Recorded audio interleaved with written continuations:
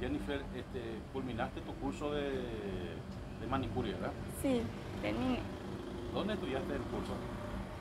Acá en, ¿En el centro regional? sí, en el centro regional. ¿Cuánto tiempo duró ese curso? Como seis meses.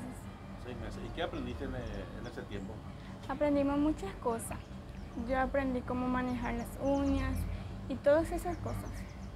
Como, como podemos limpiar todo, quitar cutículas y todo, todo lo que sea de manos y de piel. Todo lo que es pie y mano. Eso también incluye sacar uñas encarnado, eso ya es parte de podología. Mm, Ah, sí, así mismo. Hace parte también. Sí, hace parte. Ya, y hoy en día, tanto chicas y varones, veo que le gusta mucho la parte de estilista, ¿verdad? de hacer dibujos Sí, en las uñas, ¿verdad? Sí. ¿Y esos dibujos ustedes hacen pintando o colocan algún sello? ¿Cómo es? Colocamos nomás.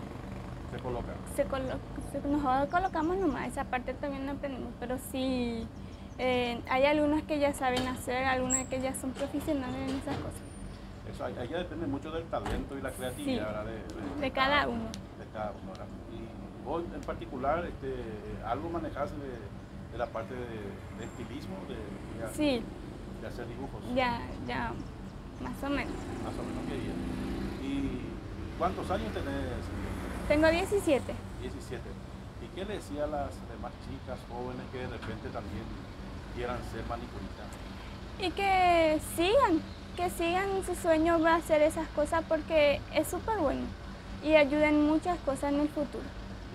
¿Y actualmente cuánto se cobra si un cliente viene y te pide para que haga su- sus manos y posteriormente sus pies, así como se dice?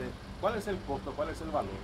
Las manos, solo las pinturas es como el 20 mil. 20 Y con el diseño y todo son 25. Con el pie todo completo ya son ya 50 mil. 50. Y da para vivir de eso, Sí. dos, tres por día, Sí, uno ya, ya gana. ganas mucho. Y el, el, el- material que ustedes usan, eh, ustedes compran, eh, este, tiene su costo, ¿verdad? Sí, tiene su costo.